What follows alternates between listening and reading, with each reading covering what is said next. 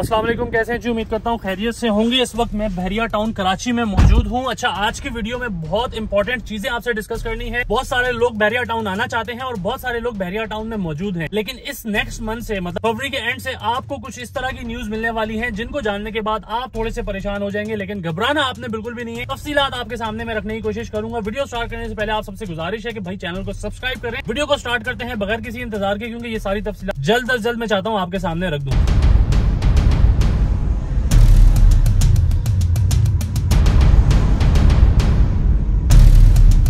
तो भाइयों, बहनों और बुज़ुर्गों, अगर आप बहरिया टाउन में रहते हो या रहने के ख्वाब देख रहे हो तो आपको मैं बताता हूँ कि बहरिया टाउन ने इस महीने के आखिर में जो मेंटेनेंस चार्जेस हैं, उसमें इजाफा करने का ऐलान कर दिया है। वो कितना इजाफा होगा, तमाम वो चार्जेस मैं आपके सामने रखने की कोशिश करूँगा। ये कौन सी मेंटेनेंस है, ये भी आपको बता देते हैं। ये बहरिया टाउन की वो मेंटेनेंस है जो की आपको महीने के एंड में जो इलेक्ट्रिसिटी का बिल जब आपका आता है तो उस वक्त आपको ये मेंटेनेंस भी पे करनी पड़ती है, जिसमें आपको ये सारी चीज़ें फैसिलिटीज़ दी जाती है, जो सफ़ाई वगैरह का काम होता है, ये सारी चीज़ें इसमें शामिल होती है। तो भाई सबसे पहले आपको बता देते हैं कि अगर आप 125 गज के घर में रहते हो प्राइवेट विला में रहते हो तो पहले आपको सत्ताईस सौ रूपए उसकी मेंटेनेंस देनी पड़ती थी। लेकिन इस टाइम पे अगर आप बात करें तो उसमें पाँच सौ चालीस रूपए का इजाफा कर दिया गया है, जो कि अब बत्तीस सौ चालीस रूपए बनते हैं। इसी तरीके से अगर आप 250 गज के घर में रहते थे तो आपका चार हज़ार सात सौ रूपए मंथली आपको मेंटेनेंस पे करना पड़ती थी। लेकिन अभी उसमें नौ सौ चालीस रूपए का इजाफा कर दिया गया है, जो की अब बनता है पाँच हज़ार छह सौ चालीस। इसी तरीके से अगर आप पाँच सौ गज के विला में रहते थे तो आपको जो पे करना पड़ता था मंथली मेंटेनेंस वो आठ हज़ार सात सौ रूपए आपको पे करना पड़ता था। लेकिन इस टाइम पे अगर मैं आपसे बात करूँ तो सत्रह सौ चालीस रूपए का उसमें भी इजाफा कर दिया गया है, जो की अब बनता है दस हज़ार चार सौ चालीस रूपए इसी तरीके से अगर मैं बात कर लूँ आपसे कि अगर आप रहते हैं बैरिया होम्स में, जो की एक सौ बावन गज का अगर आपका विला है, जैसे की एक बाल विलास है तो अगर आप इसमें रहते थे तो पहले आपको तीन हज़ार सात सौ रूपए इसकी मेंटेनेंस पे करना पड़ती थी। अब इसमें सात सौ चालीस रूपए का इजाफा कर दिया गया है, जो की अब बनता है चार हज़ार चार सौ चालीस रूपए इसके अलावा मैं बैरिया होम्स में बात करूँ दो सौ गज के विला में अगर आप रहते हो भाई तो आपको छह हज़ार सात सौ रूपए पे करना पड़ता था, जो कि अब बीस फ़ीसद के इजाफे के साथ तेरह सौ चालीस रूपए इजाफा इसमें हुआ है, जो कि अब बनता है आठ हज़ार चालीस रूपए। इसी तरीके से अगर मैं बात करूँ, अगर आप स्पोर्ट सिटी विला में रहते हो, जो कि तीन सौ पचास गज का विला है तो उसकी पहले जो मेंटेनेंस थी, वो थी तकरीबन नौ हज़ार दो सौ रूपए, जिसमें इजाफा हुआ है अठारह सौ चालीस रूपए का, और अब ये बनता है ग्यारह हज़ार चालीस रूपए। इसी तरीके से अगर आप पैराडाइज में पाँच सौ गज के विला में रहते हो भाई तो पहले आपको पे करना पड़ता था तेरह हज़ार सात सौ रूपए। जिसमें इजाफा हो गया है सत्ताईस सौ चालीस रूपए का। और अब आपको पे करना पड़ेगा सोलह हज़ार चार सौ चालीस रूपए। इसी तरीके से अगर आप बैरिया टाउन के दो कमरों के अपार्टमेंट्स में रहते हो या रहने के ख्वाहिशमंद हो तो आपको पहले पे करना पड़ता था तीन हज़ार पाँच सौ रूपए। अब इसमें इजाफा हो गया सात सौ रूपए का तो अब ये बनता है चार हज़ार दो सौ रूपए। इसी तरीके से साथ साथ मैं आपको बताऊँगा, अगर आप तीन कमरों के अपार्टमेंट्स में रहते हो तो आपको पहले देना पड़ता था पाँच हज़ार रूपए, जिसमें इजाफा हुआ है हज़ार रूपए, अब बन गया ये छह हज़ार रूपए। इसी तरीके से अगर आप और बेडरूम्स के अपार्टमेंट में रहते हो, जिसका एरिया तकरीबन उनतीस सौ पचास स्क्वायर फीट बनता है। तो उसका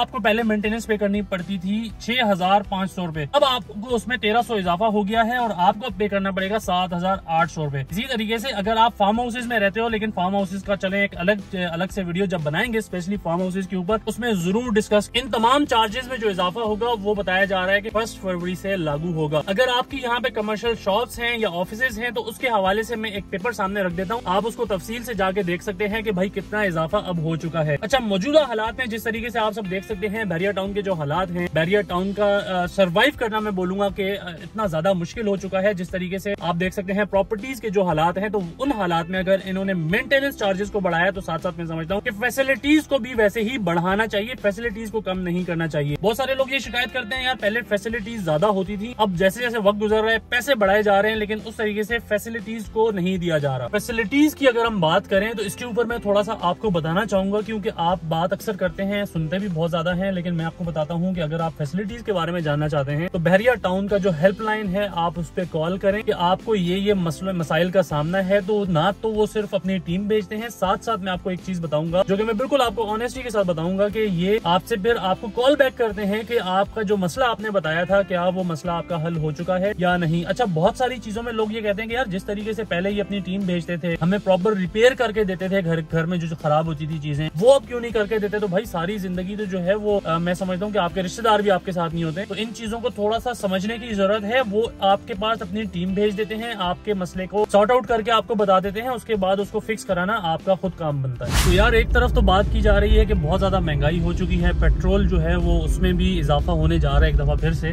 लेकिन मैं ये समझ नहीं पा रहा हूँ कि इन हालात में अगर मेंटेनेंस चार्जेस में इजाफा हो जाता है तो ये अगर तो अगर क्या जो चीज़ें सामने आ रही हैं जो इतलात आ रही हैं उसके मुताबिक तो ये फरवरी का जो अब बिल आएगा उसमें ये सारी मेंटेनेंस चार्जेस वगैरह इंक्रीज होकर ही आपको मिलेंगे। तो इस तरह का काम अगर हो जाता है तो इन हालात में क्या जो नए आने वाले हैं वो घबरा जाएँगे? जैसे कि मैं अपनी वीडियोस में पहले भी कहता हूँ कि यार घबराना नहीं है लेकिन इस तरह की जब न्यूज़ आती है सामने तो उसमें तो लोग काफ़ी हद तक घबराते हैं। अब्बास भाई कैसे हैं? ठीक है? आप बताएँ शुक्र है अल्लाह का। अब्बास भाई मुझे ये बताएँ मेंटेनेंस चार्जेस में एक दफ़ा फिर से इजाफा होने जा रहा है। क्या कहना चाहेंगे? फिर आप बैरिया टाउन आ रहे हैं अभी भी? आना बनता है भाई माशाल्लाह अच्छा ना? जी जी बिल्कुल अच्छा है लेकिन मेंटेनेंस चार्जेस में इजाफे को किस तरह देखते हैं आप? किस तरह देखते हैं? बेसिकली हम शहर में अगर देखा जाए तो आपको पता है वहाँ पे आप जैसे लाइक जो गार्बेज वगैरह आप उनको देते हैं ठीक है। तीन ढाई तीन हज़ार तो वो ले लेता है। ठीक है। तो वैसे ही यहाँ की मैंने सुना था साढ़े तीन हज़ार जैसे आपने बताया था पहले। बिल्कुल। लेकिन मैं आपको बताऊँ कि लोग इसको इस तरह से भी देखते हैं कि यार अगर आप मेंटेनेंस चार्जेस में इजाफा करते हो तो फैसिलिटीज़ में भी इजाफा करो। एग्जैक्टली exactly, बात सारी देखें ये कि सिक्योरिटी पर्पज भी है ना फिर मेंटेनेंस सारी उसमें आपकी आ जाती है कि आपको गार्बेज वगैरह फ्री मिल जाता है। ठीक है। आपको कोई कचरा नहीं मिलता। बिल्कुल। इसी तरह सुथराई है सारी चीज़ें कॉरिडोर आपका क्लियर रहता है। आप मेड भी रखते हो बाहर साफ़ करने के लिए तो आप उसको भी तीन चार हज़ार देते हो ना? वो तो ठीक है लेकिन दूसरी तरफ़ जो लोग ये शिकायत करते हैं गाड़ियों की चोरियों में इजाफा और आ, आ, मैंने तो यहाँ तक सुना है कि स्नैचिंग के भी कुछ वाकयात हुए हैं। तो इस तरह के वाकयात और मेंटेनेंस चार्जेस में इजाफा तो फिर परेशानी तो बनती है थोड़ी बहुत। बात सारी है आप सिक्योर रहना चाहते हैं तो आपको थोड़ी बहुत तो आपको लाइक कितनी थाउज़ेंड रुपीज़ या सेवन हंड्रेड आपको एक्स्ट्रा देने पड़ रहे हैं। ठीक है। अदरवाइज़ आप कहीं और भी रहते हैं तो मेंटेनेंस आपको कराची में अच्छा अपार्टमेंट ले ले ठीक तो है। दस हज़ार बारह हज़ार मेंटेनेंस है। दस हज़ार बारह हज़ार। कम अज कम मेंटेनेंस आपको वहाँ पे पे करनी पड़ती है। आयशा मंजिल रहता हूँ आठ हज़ार में मेंटेनेंस मेरी वहाँ पे। आठ हज़ार देते हो आप। आयशा मंजिल पे टू बेड मेरा अपार्टमेंट है ओके आठ हज़ार में देता हूँ। ठीक है। तो फिर आप बैरिया टाउन को देखते हो तो आपको फिर बहुत ज़्यादा कम लगती है फिर आपको। सिंपल बात ठीक है। भाई तो ये सारे हालात हैं। मैंने सोचा कि आपके सामने ये तमाम तफसीलात रखूँगा इजाज़त चाहूँगा आज की वीडियो से। इंशाल्लाह ताला एक दफ़ा फिर नेक्स्ट वीडियो में दोबारा आप सबसे मुलाकात होगी। नेक्स्ट वीडियो तक सैयद साजिद हुसैन शाह को इजाज़त दें। आपका भी बहुत बहुत शुक्रिया sir thank you so much जजाक अल्लाह हाफिज़